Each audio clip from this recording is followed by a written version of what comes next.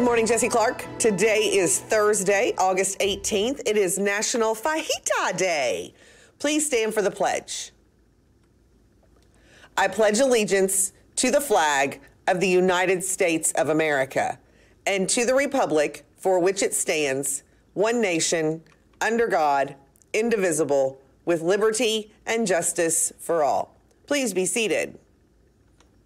The weather after school today will be 83 degrees and sunny. Monday morning at the bus stop, 77 degrees, mostly cloudy with a chance of storms. For lunch today, you have a choice of popcorn chicken or a pork barbecue sandwich. Those come with green beans, mashed potatoes, and a choice of fruit. If you're not interested in popcorn chicken or a pork barbecue sandwich, you can get a peanut butter and jelly uncrustable or a chef salad.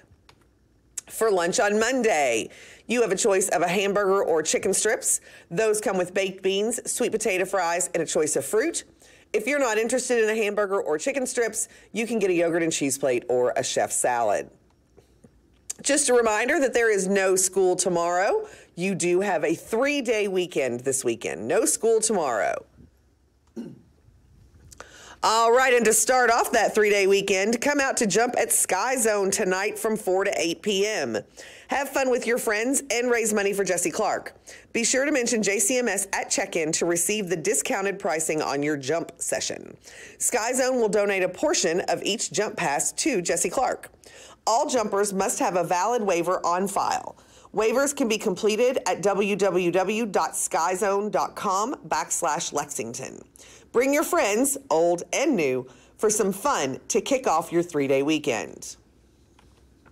Also happening tonight, our Jessie Clark girls basketball team is playing away at Southern Middle School tonight. So if you are available, if you're not going to Jump Zone, maybe you want to go over to Southern Middle School and support our Eagles. Good luck tonight, girls. Any 6th, 7th, or 8th grade students that are interested in participating in the YMCA Black Achievers Program, please see Mrs. Thomas in the Youth Service Center for more information. This is an amazing program that provides life skills, mentorships, academic supports, and scholarship opportunities for students in our community. Meetings will begin after Labor Day. Students, please stand. Teachers, please check student dress code.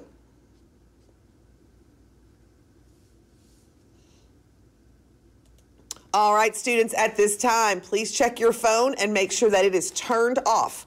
Not on silent, it needs to be turned off and stored either in your locker, your backpack, or your pocket. So please check your phone at this time.